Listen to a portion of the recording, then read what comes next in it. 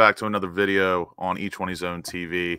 It is me, Lucas, and Clive is joining me for the news that has finally been confirmed. We've all known it's going to happen for about the past 48 hours, but my oh my, has it been dramatic and just stretched out as far as possible with with FIFA threatening sanctions and investigation, Lyon mad, Betis don't know what the hell's going on, but we've made it. But before we start, if you haven't already, please subscribe to the channel. If you haven't, hit the bell notification so you're the first one to watch the videos be in the stream. Leave a comment and like the video if you haven't already. And we have a membership link down in the description if you'd like to support us further. But um, we are finally here. Today is the day. Saïd Benrahma and Pablo Fornals have both been announced to their respective clubs. They have parted ways with West Ham. A very emotional day for all who who uh, love both or whatever you may feel. So uh, Benrahma on his way to Lyon for about uh, reported 15 million pounds in total. I think the loan fee is about 4 million pound. And Pablo Fornals on to Betis for 7 million pound fee with some add-ons we do not know of. But Clive, I'll let you start off. Uh, what do you think about the moves um, generally first? Uh, I think the Benrahma one is a bit of a coup on our part. Um, you know, we purchased him for a little bit more than what than what we uh, have sold him on for. Um, so I think to get as much as we have for him is is not too bad. It's not much of a loss. Um, I think it's the right thing to do. He wasn't going to get much game time. He hasn't shown his full potential from Brentford. Um, and yeah, I think it was time that he uh, had been moved on out of the out of the settings. Um, I don't think we would have got the same fee if if we waited until the summer. Um, so I think it was the right time, right uh, the right move for for both parties, realistically. Um, when it comes to Fornals, again, correct thing to do. Time to move on. Emotional one for me Um, personally.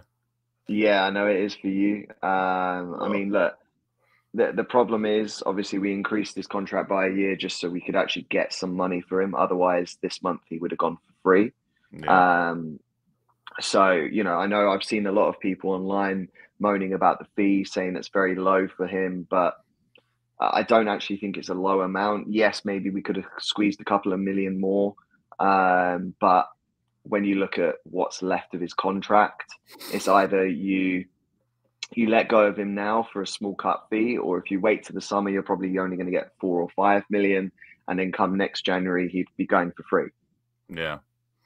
Yeah, for me, um, I'll just give my short piece about what I think about everything. Um, Fornals, I am in the bit of a camp where I do think we sold him for for peanuts a bit, but I have a feeling we just really uh we granted his wishes is is a mutual thing because I think not only does he think the world of us and have absolute respect for us, I think we we think the same for him. And um it's it's more emotional for me seeing Pablo go because I think you can agree, no matter what you thought of his quality, which I thought he was a, a good player for us. I think his purchase in total was a successful buy, but not a lot of players walk through those doors and really go through the full experience where they they experience a down a down spell, they see success, they see an upward tick, and they win a trophy with us. And he adopted just so many of our traditions and things we do.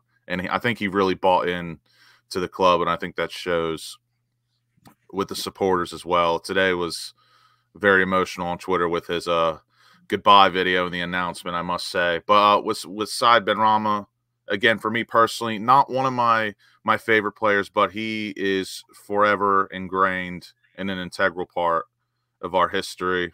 Scoring that goal in Prague, you were you were there in person.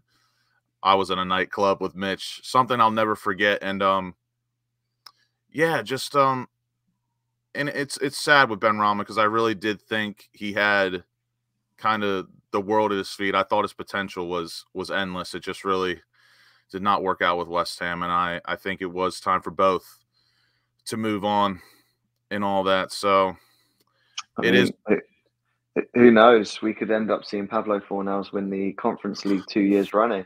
Uh, Betis obviously failed in the Europa League, dropped down. Um, Crazy, wasn't it? could happen. Yeah, could happen.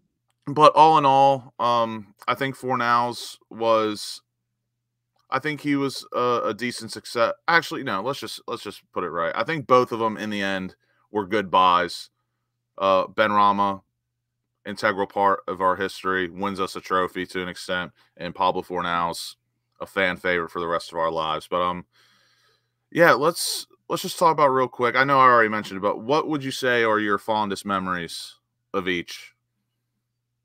Uh, Benrahma, there's not too many. I won't lie. I mean, his first season during the COVID year was a bit, a, little bit of a letdown. I His thought, in my up, opinion, I thought that was his best, personally. really. I mean, he only scored, I think, one goal in the Premier League that season, but he, um, I, I actually think the follow up season was his best, which Okay. was um 21 22 season, which was his best goal scoring season in terms of the Premier League, but not overall. Mhm. um, across all competitions. But I think that was perhaps where we saw the peak of his um, of his powers. uh, Yeah, um, which obviously also worked in the twenty. Uh, I, I mean, I guess perhaps in a weird way, if you think about it, the season where we didn't have Lingard allowed him to sort of uh, appear more for us, I guess, because twenty twenty one. We all think of, of Lingard in that latter end of that season, un- unfortunately. So that's perhaps why I don't think Benrahma is more of a integral part of that. my but, favorite, um, my favorite Benrahma moment, besides obviously his his penalty in the what I mean, final. the penalty. I, I must say I loved his goal against United at home when De Oh, Gea yeah. absolutely spilled it, just because it's so funny, and we ended up going on to win. So, shout out to Benny for that. What do you say about Fornals? What's your favorite moment or moments? Because I've got moments for days. Yeah, I mean, uh, obviously him being uh, the whole uh, West Ham are massive is hilarious um, in terms of personal moments. But I Did you shed a few tears at all for the for the videos on Twitter? Nah. I did. Yeah, I'm, I mean, it was nice to see see the video, and I'll talk about Yeah. that in a second because uh, I'm about to be the most hated man again in a, uh, in a few minutes when we get to that. But I'm here for it. Um, but I think my favourite moment is um, when he scored his absolute peach of a goal.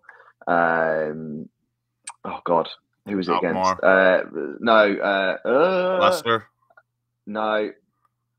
Oh Villa deflection. No, no, I've forgotten the team. How bad's that? Um,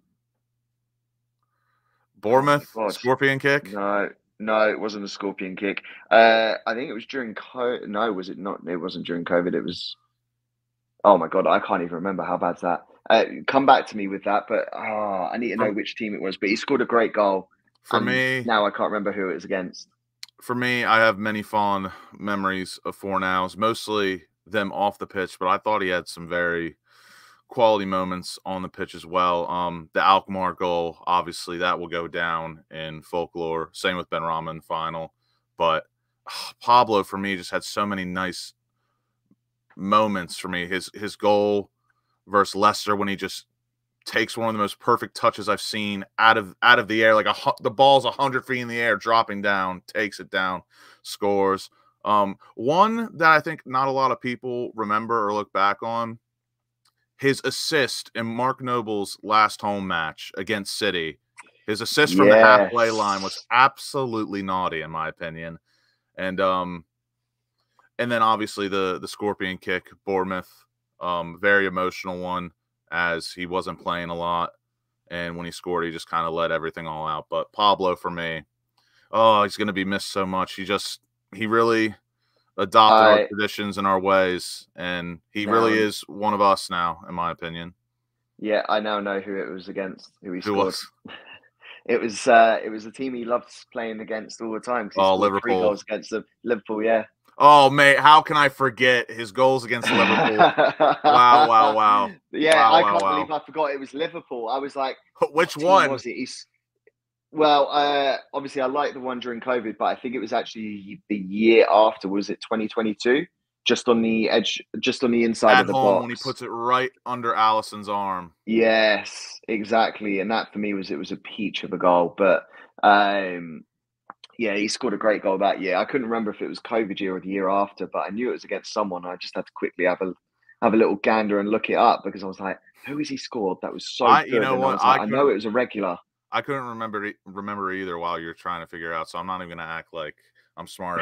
But to leave to leave things off, like we said, people Benrahma off to Lyon, Fornals off to Betis. Um, and we'll leave it off with this Clive. Where do you think we go from here for the rest of the season?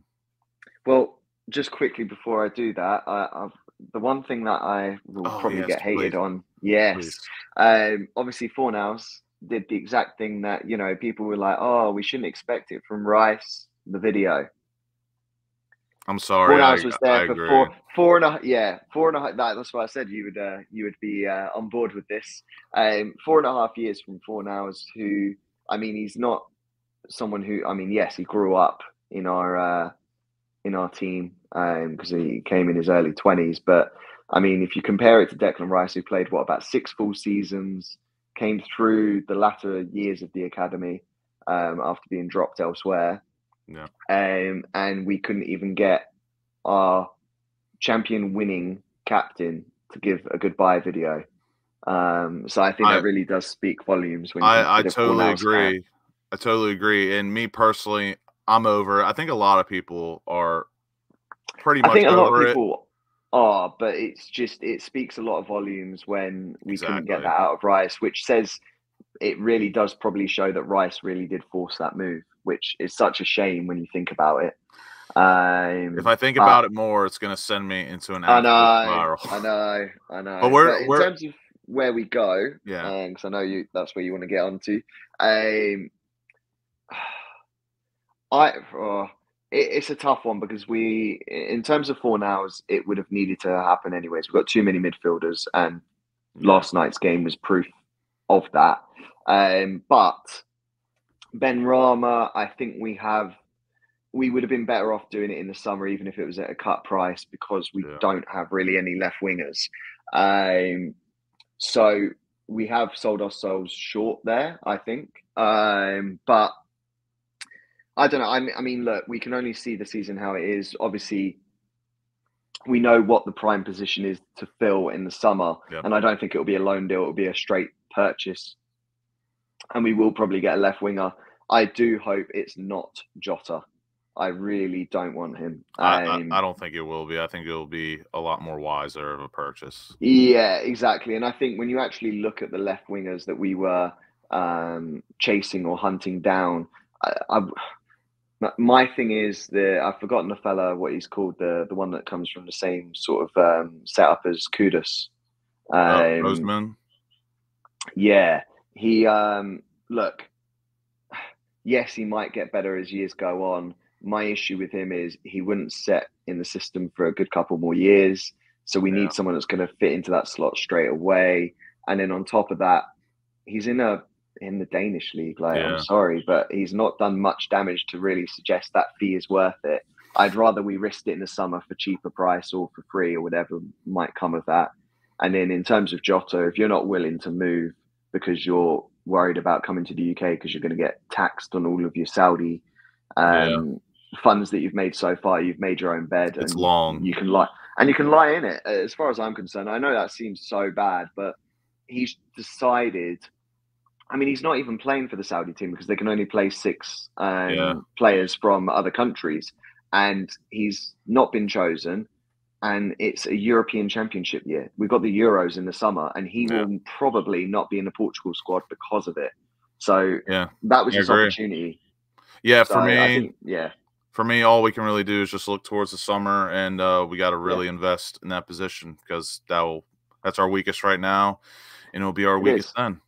So Uh, and I think I don't actually. I know there's fans that are worried that oh, are we? You know, what if we don't qualify for Europe next season? But I don't actually think it will matter.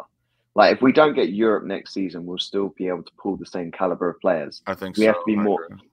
Yeah, because I think if you look at it ultimately, we've had three seasons of, of Europe already in a row. So we're showing that we're able to challenge up there. And it's just a case of maintaining it. In order to maintain it, yes, there'll be players that will join that will probably be happy to miss Europe for a season or two in order to help us achieve those goals. So I'm not too worried. I think I'd be more worried if we can't hold on to players like Paqueta.